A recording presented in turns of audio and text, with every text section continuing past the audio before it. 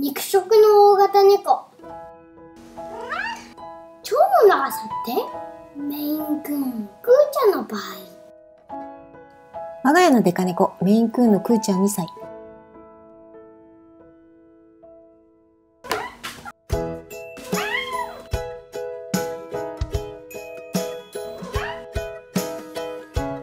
ご飯を催促するとき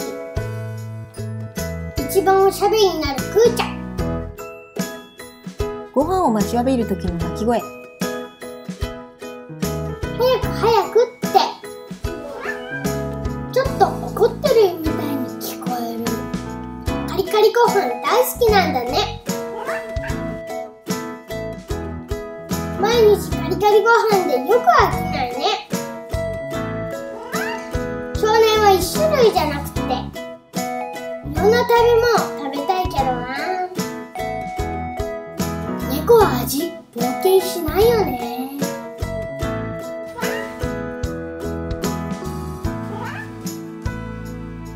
キャットフードしか食べないクーちゃんと比べて。いろんな食べ物を食べる少年。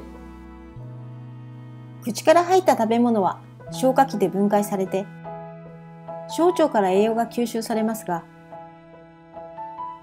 生き物は食べるものによって小腸の長さが変わってきます。左がライオンの腸右が牛の腸です。牛の腸長すぎ。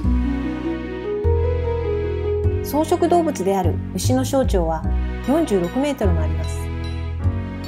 牛は腸内細菌で食物繊維を消化するために長い腸が必要反対に植物と肉を比べると肉の方が消化されやすいので肉食の動物は腸が短くなります。猫の小腸はとても短く1.7メートルほどしかありません。雑食動物の人間の小腸が5メートルなのに比べるとかなり短いね。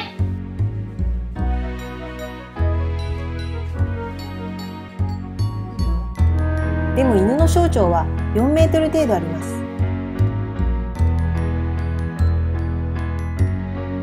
同じ肉食動物であっても犬は雑食に近い食生活を送っているからなんですね。何でも食べちゃうもんね。めきめき育った夏野菜送ってもらいました。野菜より段ボールが気になってるくーちゃん。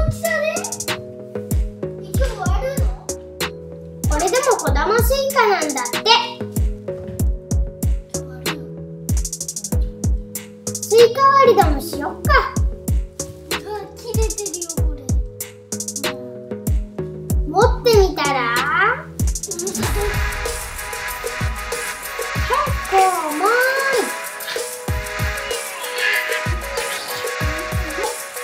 真っ赤に熟れてて美味しかったよ。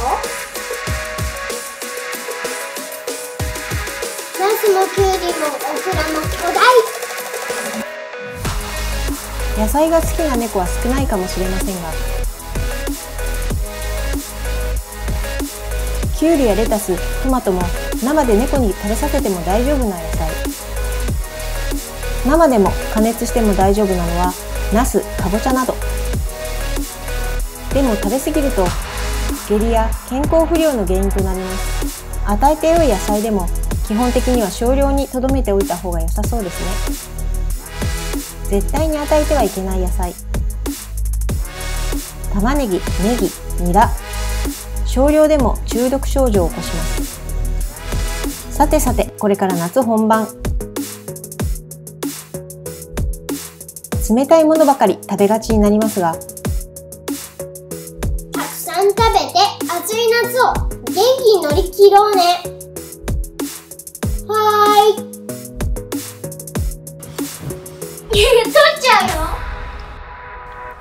チャンネル登録よろしくね。